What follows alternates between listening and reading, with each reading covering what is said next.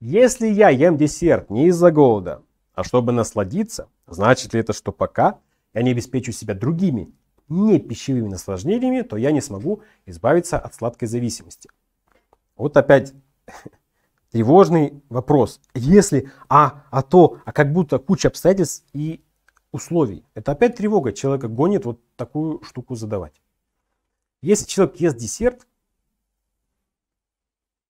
ну как вот, э, если взять совсем чистую, сухую физиологию, вот максимально ультимативный стоический вариант, человек попал на необитаемый остров, где на деревьях растут пироги. И нет животных. Все. Есть больше нечего, он нет десерты. Потому что первая, вторая, третья, четвертая категория, их нету. Нету в доступе.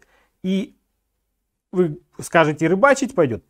Нет, вся рыба сдохла вокруг. Все, нету. Все, невозможно ничего. И только пироги. Вот в таком случае десерт, другого выхода нет, потому что это единственная представленная пища. А когда у вас вокруг обилие всей пищи, и вам вдруг хочется чего-то этакого, вот побаловаться, это значит, уровень стресса поднялся, сахар крови упал, кортизольчик тоже начал скакать.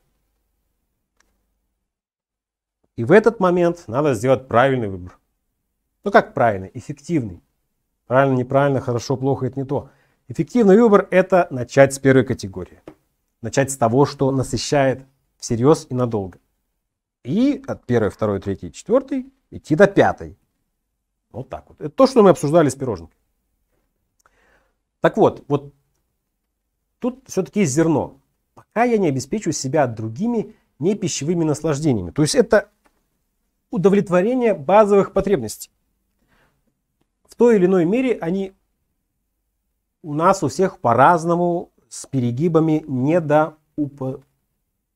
недоудовлетворены. Да? Поэтому мы склонны чем-то это компенсировать.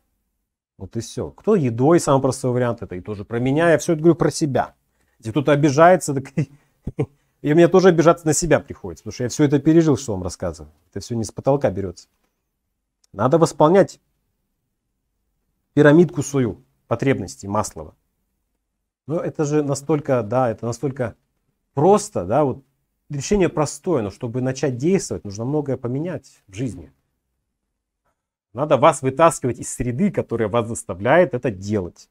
Ну, как я рассказывал, рехабилитация, как героинщиков, так и вот сладкоежек тоже. На рехабилитацию. Тайгу на лесоповал. И будет у них свой шансон там, про конфеты будут петь. Да, живем мы в нашем лагере, ребята, хоть куда. Дальше. Спасибо за внимание. Расширенная версия этой лекции доступна на моем канале. Ссылку на нее вы найдете в описании к этому ролику, а также прямо сейчас у вас на глазах на финальном экране. Желаю вам полезного изучения моего творчества.